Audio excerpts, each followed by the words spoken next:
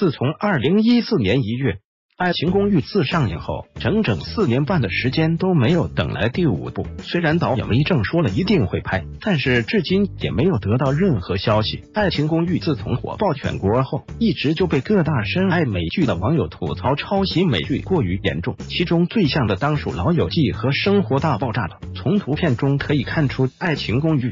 的确是大幅度抄袭了美剧，还有更多抄袭证据。要是一一罗列出来，你们可能看到晚上也看不完。原本《爱情公寓》抄袭门之后，我只是怀疑不会出第五季了。可是这次大电影一出，我就确认《爱情公寓》不会出第五季了。这部电影与《爱情公寓》主体毫无关系，讲的竟然是一伙人去盗墓的故事，而且还被破出是混皮作品。我想这是导演为正决定最后拿带给我我们的青春回忆的《爱情公寓》这个大 IP 捞上最后一笔吧。《爱情公寓》虽然是抄袭美剧，但是它的的确确给我们带来了不少快乐。但是我想说的是，导演真的不厚道。你抄袭就算了，至少给我们一个结局吧。吴亦菲和贱人曾、Snack 张大炮、吕小布和媚家、出国的婉瑜和书呆子展博，还有雨墨这些人的恋情你都没有交代，然后就用四年时间弄一个盗墓故事，真的伤我们这些粉丝的心。如果你们还有一点良心，请拿出你们仅有的才华创作，给我们一个原创的、